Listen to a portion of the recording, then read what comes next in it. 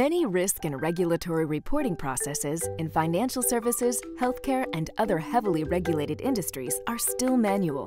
We've worked with clients to identify opportunities for intelligent automation technologies to simplify, enhance, and provide greater visibility into these processes. This demonstration shows how KPMG can automate data testing, issue management, and tracking using Appian. Appian is a digital transformation platform with wide-ranging business process management and case management capabilities.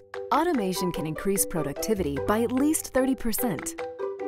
As a low-code application development platform, companies can use Appian to design and configure new applications quickly and easily. In this example, Mason, the human tester, logs in.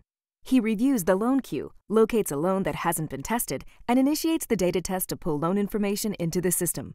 Appian uses a tool to convert data from scanned financial and mortgage PDF documents to text and ingest them into Appian.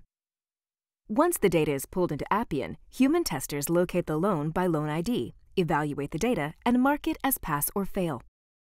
If the loan is marked as fail, the tester must select a reason and comments. The tester's manager, Brian, logs into Appian and sees the failed loan in his queue. The manager agrees with the decision and adds comments. The loan portfolio leader, Brett, logs into Appian and also sees the loan in his queue. He agrees with the decision and adds comments. The system also manages any issues from the initial testing and data validations. It sees any exceptions and sends automated notifications that will appear in an issue analyst work queue. The analyst examines each issue and sends it for an assessor to evaluate qualitatively and quantitatively before the analyst can review and approve the issue.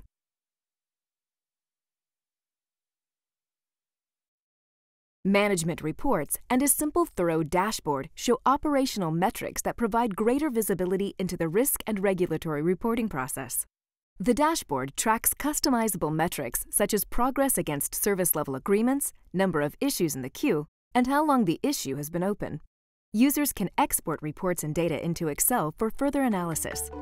This simple testing and issue management framework can be used for a thorough capital analysis and review, controls testing, and regulatory reporting.